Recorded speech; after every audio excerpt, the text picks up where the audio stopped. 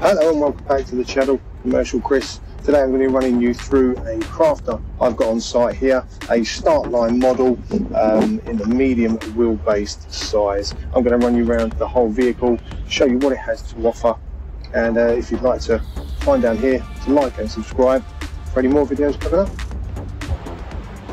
So this particular crafter has in fact got the business pack included with the vehicle. So as you can see on the front here, you've got the front sensors and you also get the rear parking sensors as well. Along with that pack comes the air conditioning, which is quite important, especially on hot sunny days like this. Also comes with your anti-collision built into the front of the vehicle as well to avoid any nasty accidents. So coming around to the side of the vehicle, you've got your side loading door with your step up in. Inside the back of the van, there's plenty of room, over six foot of space height wise. This particular one I'm showing you now has already got your ply lining built in as well, as well as grab handles around sides of the vehicles. All your wheel arches are also boxed in as well. Now at the rear of the vehicle, you've got two barn doors on the back, both opening out wide. Good function with these doors is you've got the latch on the side here, so you can in fact open the van right out to the side, creating more room to get anything you need in. On this particular one,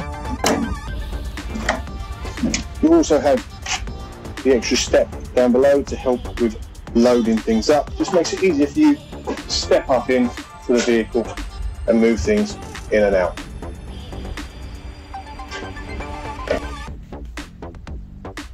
Now we come inside the vehicle.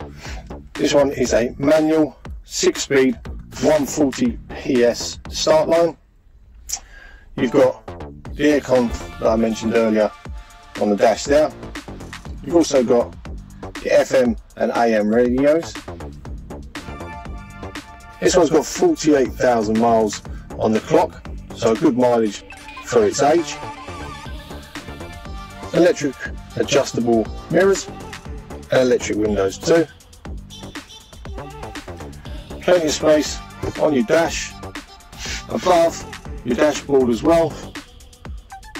All your so uh, holes for your drinks, you've got your 12 volt socket at the end, as well as a 12 volt socket in the centre console.